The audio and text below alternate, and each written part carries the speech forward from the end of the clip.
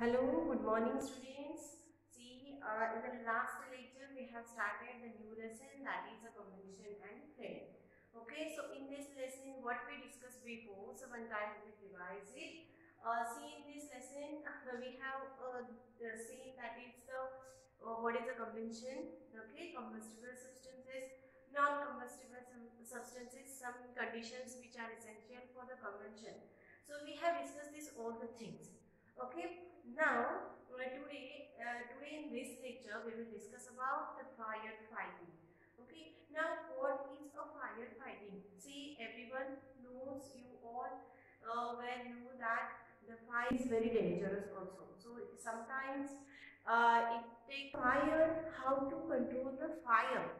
So see in school also you have also that the fire extinguisher are uh, some uh, small small kits are available in our school so maybe you have observed that. So the this point that is a fire fighting. Okay so what is a fire fighting?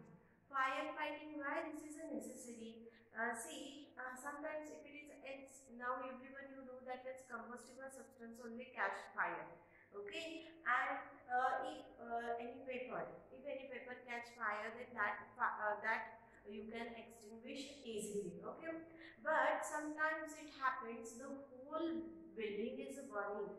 Means maybe the cylinder sport or any other uh, any other reason okay? So that time what we will do? It is not possible to separate the combustible substance. So that time we have to use we have to call the fire brigade also.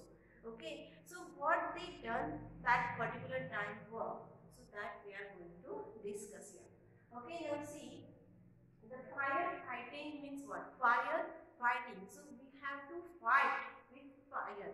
Means why? Because sometimes if uh, any building catch fire okay uh, then uh, anything uh, if it is uh, is a more okay then it uh, so that time we have to use a fire uh, extinguisher. Now fire fighting means to control and extinguish unwanted fire. So fire fighting means what? To control and extinguish. Uh, see, just now I have given you example that is if it is a small paper catch fire, hmm, if any curtains catch fire. So that time at home also we can extinguish a fire. Uh, fastly okay? But if the fire uh, catch fire in the whole building then hotels so that time it is not in under our control. So that time we have to use we have to call the fire brigade. So the fire fighting means what? Fire fighting. The meaning of this word is to control and extinguish unwanted fire okay? So maybe this unwanted fire at home uh, in the office in schools somewhere okay so to control this unwanted fire and to extinguish that is means by the fire fighting so this fire fighting uh, is depend on these two principles okay so the first principle is the bringing down the temperature of the burning substance below their ignition temperature. Means what? Means uh, see, bringing down the temperature. See, as you know that last time also we have discussed about the ignition temperature. So every combustible substance they are having the different different ignition temperature. Some substance have low ignition temperature, some substance have uh, high ignition temperature. Okay, so the bringing down that temperature below then we can extinguish the uh, fire. Now for example, suppose any one paper is a burning, okay, and if you will put a water on that paper, the fire will extinguish.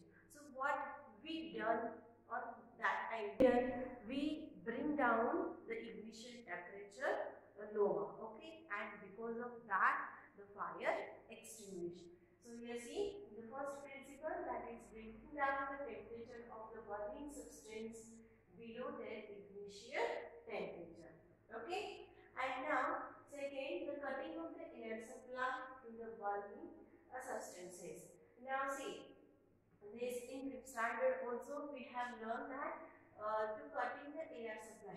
Now why we have to uh, stop the air supply because see last time also we have discussed that in the air oxygen is present okay and oxygen is essential for the burning oxygen supports burning. Without oxygen any substance will not burn. So when we cut the air supply automatically oxygen supply will stop. And if oxygen will not get that particular substance combustible substance then it will extinguish. Okay? So these two principles are important for the fire firefighting. That is bringing down the temperature of the burning substances below their ignition temperature and cutting off the air supply to the burning substances. Do you understand the meaning of these two principles? So firefighting means what? Fight against the fire which is unwanted. Okay. See here the definitions and the meaning have written here. Write this point in your chemistry notebook. Now the next point we will discuss that is the types of fire extinguisher. Okay, we will discuss some types of fire extinguisher. See now you know that fire extinguisher means what? See sometimes the unwanted fire caused because of the electric shock, uh, electric short circuit uh, because of the gas, the cylinder sport. Okay, so many of other reasons. So that time we have to extinguish the fire uh, so the most important things that we have to call a fire brigade to dial which number? That is 101 okay? Uh, then uh, till that uh, we have to do something. So which are the types of fire extinguishing means that way we can use as a to extinguish fire okay? So the first time that is water as a fire extinguisher okay? See the water we can use as a fire extinguisher. Okay? See just now i have given you example that is if suppose paper is a burning okay? Uh, paper burning uh, then what uh, hello my dear students. Okay now we will continue our next point that is a types of fire extinguisher. Okay so now see the first type of fire extinguisher that is water as a fire extinguisher means what water we can uh, use as a fire extinguisher. See before also we have discussed suppose this paper it is in my hand okay and if suppose I will burn this paper and then afterwards I have to extinguish this fire then what I will use the water okay if you will pour the water on that uh, paper then it will be extinguished. So what means this water? Um, when we pour water on that particular uh, combustible substance then it um, lowers uh, the ignition temperature okay? And because of that the fire is extinguished. But water we are using as an extinguisher but there are some limitations okay? Means suppose any uh, wood is a combustible substance. Do you know that if it is a burning then we can throw water then that fire will extinguish. If it is paper is there then uh, even though also we can use the water.